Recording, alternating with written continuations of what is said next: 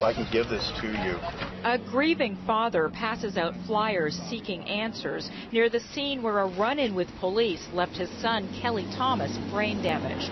The 37 year old removed from life support Sunday. The only thing we have left of our son is the blood in the gutter.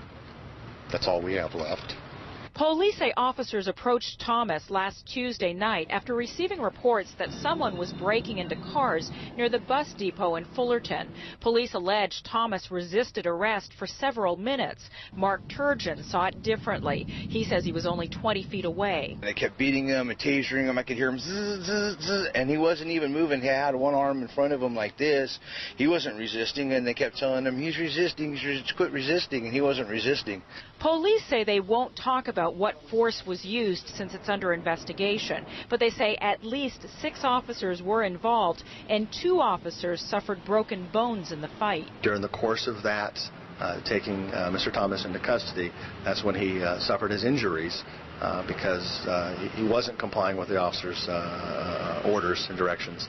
Thomas's father, a former Orange County Sheriff's deputy, alleges Fullerton police used excessive force. With six officers on him, that could average with all their equipment to 1,500 pounds of trained men against a 165 pound unarmed homeless man. His eyes were swollen shut, his nose was broken, and uh, I, I just couldn't imagine what happened to him.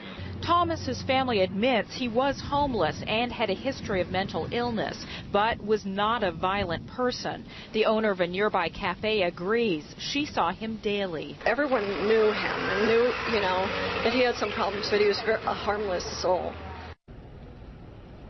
Now, if you witnessed what happened, call Fullerton Police at 714-738-6715. Now, the family also has an email address set up so you can give information anonymously. You can get that email address by going to our website at abc7.com.